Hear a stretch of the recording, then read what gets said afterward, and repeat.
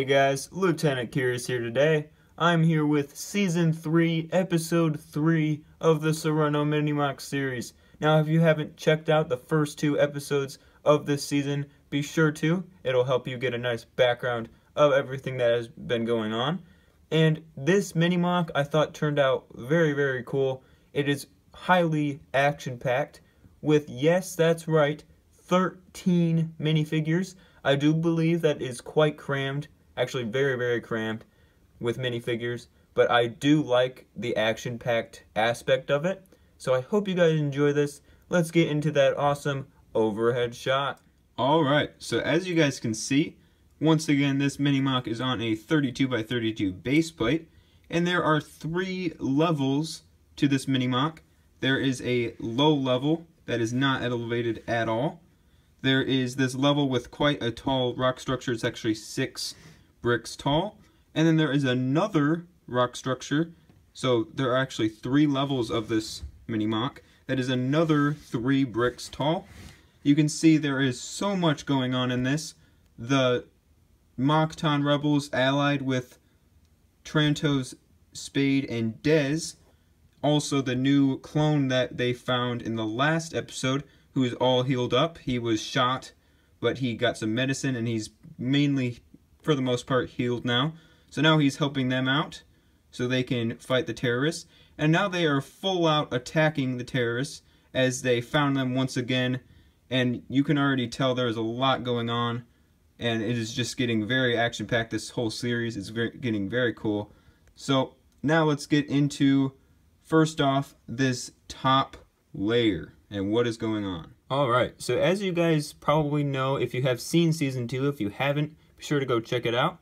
Now in Season 2, at the end, we found out that Crannul, the leader of the terrorists, had Dez's, Dez is right here, Dez's wife and daughter held captive with them for the whole time. And when Dez, Dez assumed they were dead after they were they randomly disappeared.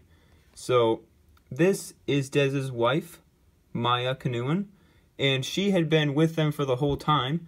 And as the all of the Mockton rebels and the clones ran in here, they got the terrorists got very overwhelmed, and Braz, another terrorist, started running away and threw Maya down on the ground. So now Maya most likely will be not captive anymore and will be with Dez, her husband.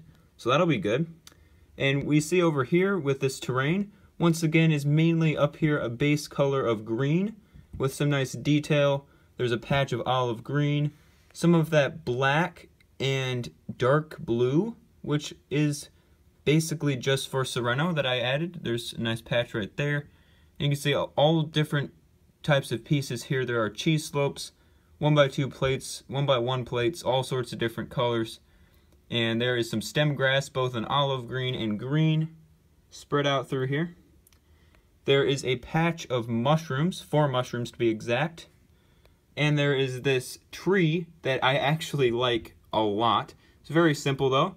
I will show you guys what is made up in this tree. It is simply um, dark bluish gray cylindrical one by one bricks stacked up, and in between each one, besides the first one has two stacked up, are two to three olive green 4x3 leaves all the way to the top, and then I have a cone at the top to top it off.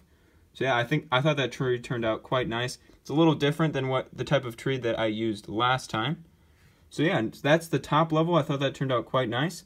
Now I will get into this second level. Alright, so I thought the second level turned out very, very cool. We have a very open area over here with Trantos and Biffin Severin running in, which is another Mockton Rebel. He got a rocket launcher at that underground 501st base that was overrun in the last episode. It was a very cool episode. Be sure to check it out. And we also have Spade up here, the other ARF trooper, running in to push Braz away so they can recover Maya Kanuan from the terrorists, which will, which is awesome. And you can see down here, Biffin has shot his rocket launcher right here, which has launched the Duros terrorist into the air. His name is Mazrov, and he is actually very quite set up. He has a weapon in his hand and also a weapon on his backpack, and he is being flown into the air. Probably land somewhere down here or in the tree. This is being completely launched up. I used a lot of fire pieces and a lot of trans orange in there, which turned out quite nice. You can see more of this terrain throughout here. Looks very cool. Alright, so now I will show you guys real quick what's happening over here, which is very, very important. Now you can see Kranul, the leader of the terrorists, who was basically in charge, or is in charge, of the terrorists, was he sliced Dez's daughter, Lily Canoein, in half, which obviously ticked Dez off to the extreme.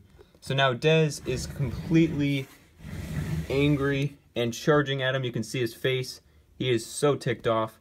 He is using this axe slash hammer thing and running at Kranul with it. He is actually quite close to Kranul.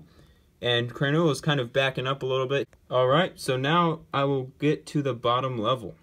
Alright, so as you guys can see, this rock structure winds all the way around here. And I used a nice mixture of dark bluish gray slopes and dark tan slopes. I did a few snot techniques with the slopes, just like placed them like that with both dark tan and dark bluish gray. And I also added some of, of the, these appendages in reddish brown on the rock structures, which I thought was a nice addition. And you can see I like doing this quite a bit. I had some of these Saleucami stem, stems hug up against the rock structure, as you see. And this winds all the way around here, and I haven't really showed you this angle the rock structure up here is three bricks high and looks quite nice as well.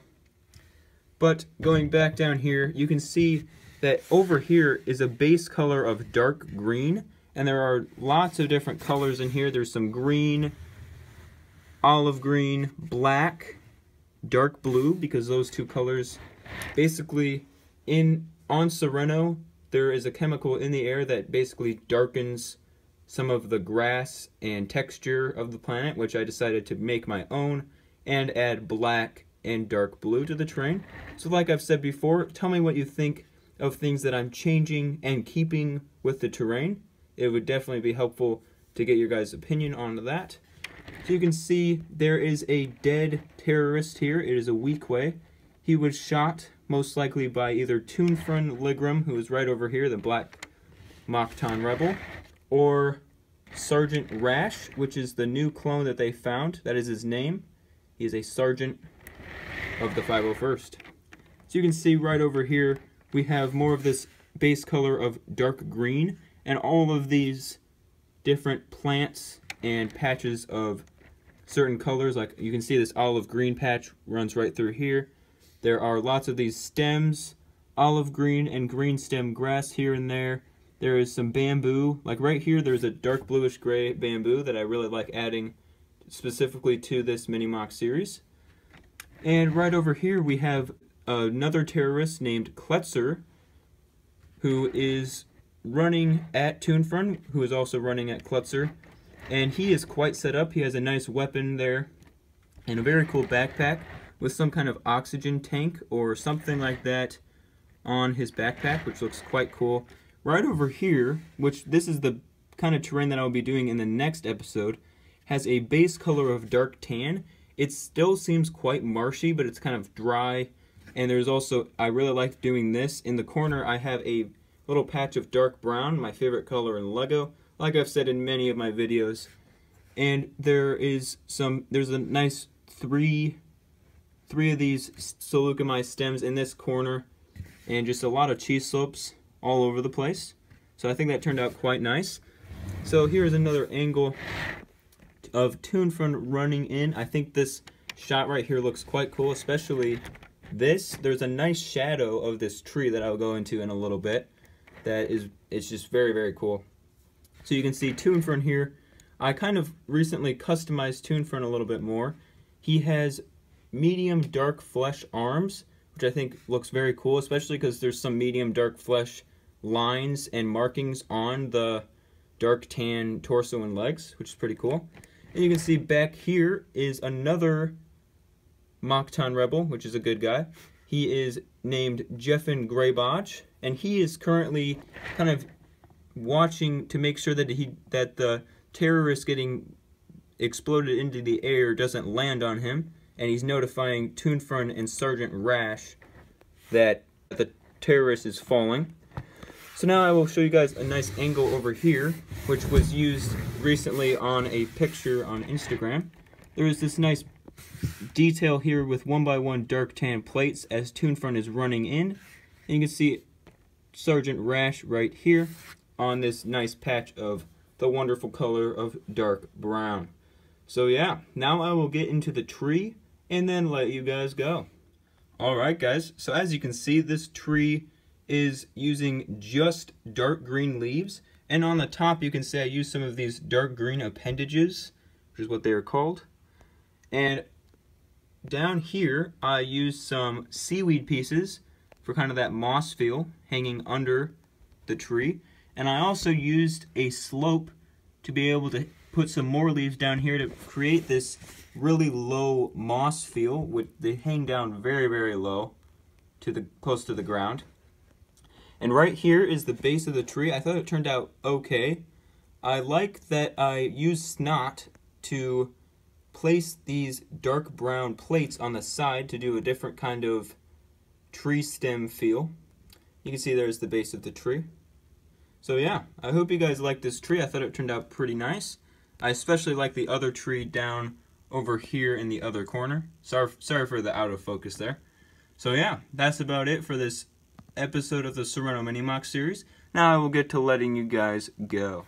Alright guys, so that's about it for this episode of the Serenno Mini MOC series. Stay tuned for episode 4, which will come out next Wednesday at the same time, 1 o'clock.